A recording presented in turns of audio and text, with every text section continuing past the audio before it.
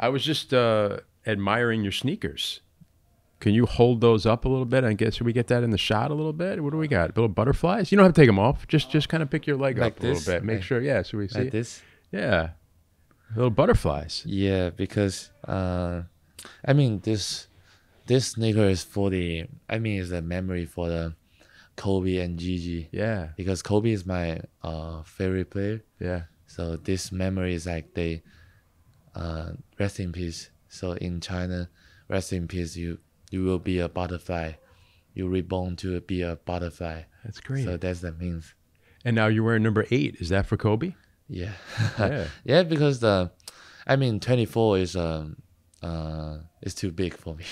so I mean, number eight is maybe, uh, shout out to the young Kobe.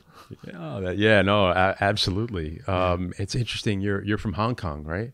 No, I'm from I'm from Guangxi, but Guangxi, I okay. live in Guangzhou. and to see a young man like you influenced by Kobe Bryant all the way halfway around the world. I mean, the the, the sport of basketball, the NBA, is just global. It's amazing the the reach that it's had over the years.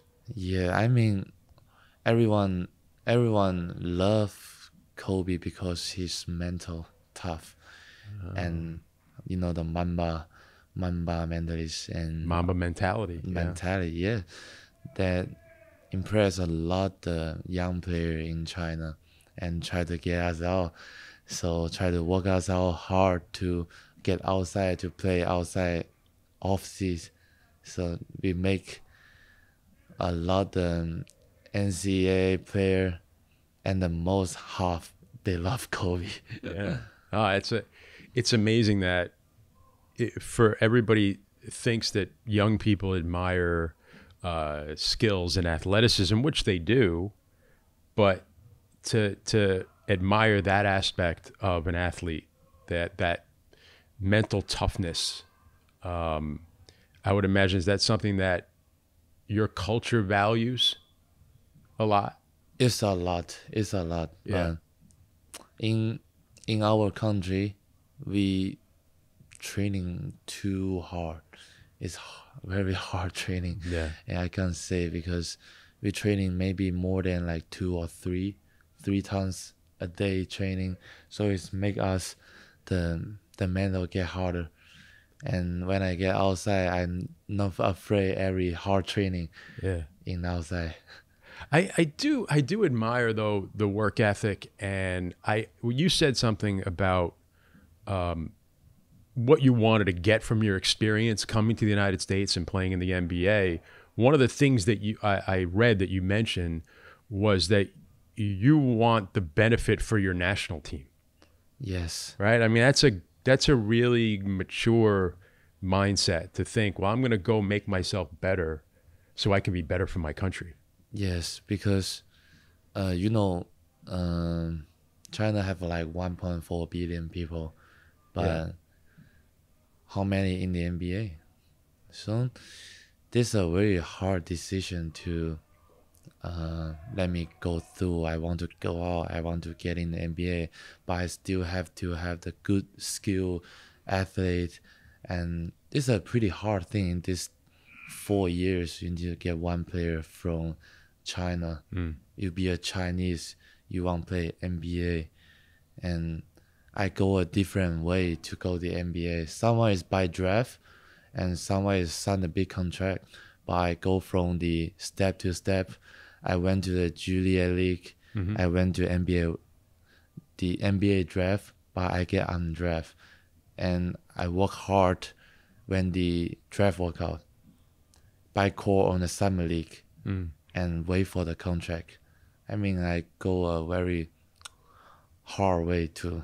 It is. Uh, sometimes it's uh, if you're going to be drafted late in the second round, or you know you're worried about contract status. Sometimes it's almost better to go undrafted because then you have a choice of where you want to go. So, what led you to come here to Brooklyn? I mean, it's after the summer league because I, I, I think I played good when I played the workout in the net. But it didn't have any message. but it's, that is a little bit surprised eh, when I get a message from the net, because I was playing for the Blazers, Yeah. and I play. I appreciate my guys in the Blazers because they they very help on me, and the coaches love me, and I love the team too. And when I play in there, and I didn't I didn't see. I just met uh, Sean in in the hotel, Mm. and I say hi, and I know he's the Nets manager. And after the summer league, when I heard about the Nets send me a message, I was surprised of this. Yeah, uh, sometimes guys play it cool. You know, they want to make sure that they don't show a lot of interest so that other teams don't think they have an interest, and maybe they did. Um, but I mean, it it it sounds like you had a couple other opportunities, but being here in Brooklyn made sense for you. Mm-hmm. Yeah, Yeah, it's made like big chance for me. yeah.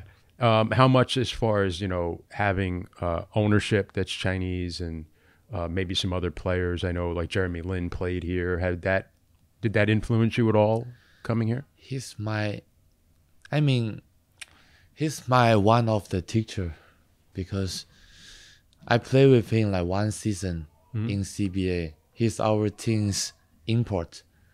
That's that's a good experience. I, I I went to his room like a lot of time, like very often. I went to his room and sit and get some whiskey and heard about his story in the, in the NBA, his crazy haircut or something. Try to show someone he got a crazy haircut in the Hornets, right? and after when he um have an injury in in in Brooklyn, and he said he went back. He tried to. He still want to play basketball. He shared the experience for me, and he because he said I'm I'm very open, so outgoing. Yeah. So I'm I'm I'm good at the communicating in here. So I might he said I'm you might he need to try the NBA. Don't afraid. That's not that far away. Then he told me. I enjoyed uh, having Jeremy around. I got to know him a little bit, and um, that period of time when he exploded on the scene with the Knicks, they call Linsanity here in New York. You know, at that time was just it's still talked about. It, it may be a two or three week period, but it was it was insane. It was little Linsanity. You know, Yeah, when he was here. Uh, I don't know if you remember that or you that. The Ed Bond was that news back then? Uh, yeah, don't know if you were of course born. we know that Linsanity because, but that time I maybe I like ten years old. Yeah. yeah, I, I was still young, but I, uh, we still heard about it because Sure. all the all the China, you know the China basketball player all know Jeremy Lin, Yi Jianlian, Yao Ming, Yeah. and Wang Zhizhi. All, all the player if if you play in NBA, the China will be the China player and and the peoples will know you. You were with the national team. Yes. right? Um, you play with Kyle Anderson was on that team, right? Yeah, he. I mean, he was a rookie in the China team. I I was that was my second year, but uh, when Kyle play, he's an amazing guy because when we played the Serbia in Shenzhen, he went to his hometown, in his old hometown, in Shenzhen. You know, the Shenzhen is uh, Guangdong, the part of the China. So he went back to his hometown. And He had a, he was born there. No, No, no, His grandpa, Grandpa. Oh, okay. I think his grand grandpa and or grandpa, he and was there, and the grandpa's picture is still on there. Oh wow, and that's his connection to play. There's a connection the national with him. team. Yeah. Yeah, well, he's from nearby. I mean, we're taping this in Brooklyn. He's from right across the river in Jersey City, Oh yeah, yeah. uh, with one of the great nicknames of all time. You know his nickname? Lee Anderson. Lee Slow mo. Oh, slow mo. Yes. Right? Slow mo. And it's amazing because it fits, right? He he looks like he's doing things in slow motion, but he gets it's so effective. Yeah. He that that that is his special. That's so special. It's like no one. It's like no one can learn learn a little bit from him, but without uh, Luka Doncic. Luka Doncic is still like a like a rhythm. Is is you you They you play at their speed. You can't- It seems like yeah. slow, but it's not. Yeah, yeah. And you can't speed them up. They play at their speed. They get where they're going to go. Uh, you got a great personality. I love talking to you. Great smile. I saw you out there joking around with some of your, uh, like Jalen Martin out there um, when we were here at Media Day.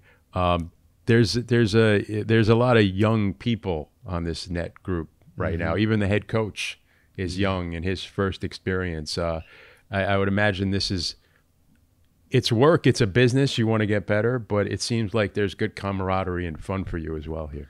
For sure, because I I love to talk with with the guys in here because I know uh, they know they know I I went to I went to China, so I know I come from China, so so it's pretty hard to get here. So they they took care of me. That's great. They took care of me in the locker. They try to make me make me jog, make me not feeling boring in this team. So I mean, I like I love my teammate and the and the coach. Can you say your whole name for everybody so we know exactly how we should say it? Uh, if you want to say in Chinese, my real name is Cui Yongxi. Okay. In English name is Yongxi Cui. But my English nickname is Jacky Cui. Jacky Shui. Your dad, My his name, My dad is Cui Mingguang. Mingguang Cui. and he was a street ball player, Yes, right? street ball, street ball player. And when he he he was famous than me when when I when I played when I played when I played before the CBA team. He was famous than me because he he man he's the legend in in the South, the well basketball player. Mm-hmm. He until right now, I think he he talked to me before 30 years old.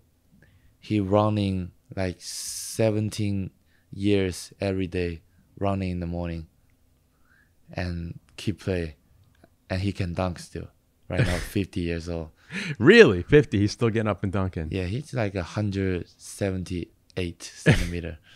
Did you grow up in that, watching him play and things like that? yeah, I did, I did, but I didn't know he's so great when I when I was like 20. But I before I'm 20, I didn't know he he was so great. yeah.